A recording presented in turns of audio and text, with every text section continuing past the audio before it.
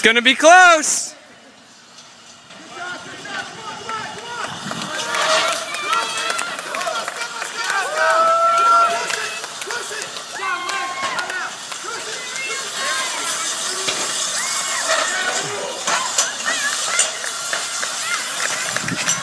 Where's that 360 now, Abdul?